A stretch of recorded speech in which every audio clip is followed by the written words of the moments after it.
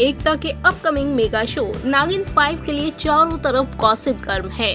कौन करेगा main lead ये इस वक्त टीवी इंडस्ट्री का बहुत बड़ा सवाल है। इस सवाल के जवाब में कई सारे नाम हैं, जैसे कि सुरभि चांदना क्रिस्टल डिसूजा पूजा बनर्जी संजीता शेख दिव्यांका त्रिपाठी और रितिका कामरा के नाम खूब घूम रहे हैं। लेकिन इस नागिन फाइव में मेल लीड की पोटेंशियल लिस्ट में अगर कोई सबसे टॉप पर है तो वो है हिना खान। जी हाँ दरअसल नागिन फाइव और हिना खान की पाँच खूबियों की जोड़ी कुछ ऐसे जमाने वाली है, जिससे ये लगता है कि एक सरप्राइज़ गिफ्ट के तौर पर यही खबर सामने आएगी। सबसे पहली बात हिना है एकता की लकी मेस्कॉट जी और हिना खान एकता कपूर के लकी मेस्कॉट से कम नहीं है। जब एकता का TV show Kasautii Zindagii season two TRP की रेस में डूब रहा था तो कमोलिका के रोल में हिना खान ने ही नैया बाढ़ लगाई थी। कमोलिका के रोल में हिना ऐसी छाई थी कि बस पूछे ही मत। ऑडियंस कमोलिका की ऐसी दीवानी हुई कि जब हिना ने शो से एग्जिट करने का फैसला किया तो शो की टीआरपी एक बार फिर से डूबने लगी। यानी कुल मिलाकर हिना तगड़ी टीआरपी की ज़बरदस्त गारंटी है। ऐसे में एक तो अपने नागिन फाइव जैसे बड़े प्रोजेक्ट में हिना पर ही दाव लगाना चाहेंगी।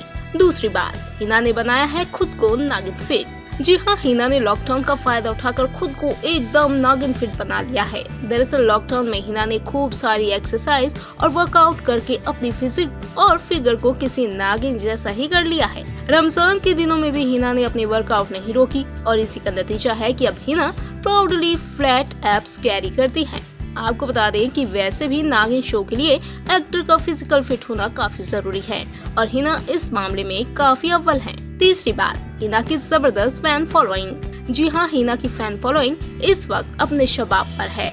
अगर पॉपुलैरिटी के मामले में उन्हें इस वक्त की नंबर वन एक्ट्रेस कहा जाए तो गलत नहीं होगा। ये हिना की पॉपुलैरिटी का ही कमाल है कि वो एक साथ टीवी शो, फ़िल्में और वेब सीरीज़ भी कर रहे हैं और उनके फैंस उन्हें तीनों ही प्लेटफॉर्म पर खूब पसंद कर रहे हैं। ऐसे कम ही टीवी एक्ट्रेस के साथ होता है कि उनकी वेब सीरीज़ भी उतनी ही पॉपुलर हो। लिहाजा एकता, हिना खान की इस ऑडियंस अपील को नागिन फाइव में एनकैश करना चाहेगी। चौथी बात, हिना ने तोड़ दी अपनी पुरानी इमेज जमाना था जब हिना खान पर अक्षरा की पुरानी इमेज बहुत बुरी तरह चिपकी हुई थी। टीवी शो ये रिश्ता क्या कहलाता है में? अक्षरा के रोल में हिना खान अक्सर साड़ी पहने हुए किसी बहू की तरह नज़र आती थी। इस स्टीरियो को तोड़ना आसान नहीं था। But over the years Hina ने अपने टैलेंट के इस असंभव से काम को भी संभव कर दिखाया है।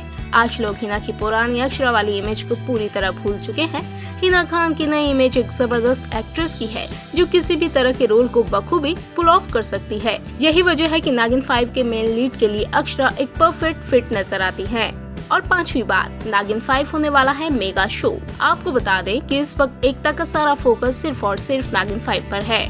खुद एकता ने जब नागिन फोर के खत्म होने की अनाउंसमेंट की थी तो भी उन्होंने कहा था कि नागिन फाइव में वो कोई कोर कसर नहीं छोड़ेंगी। नागिन फाइव की कहानी भी इसके पिछले तमाम सीज़न से बहुत अलग होने वाली है।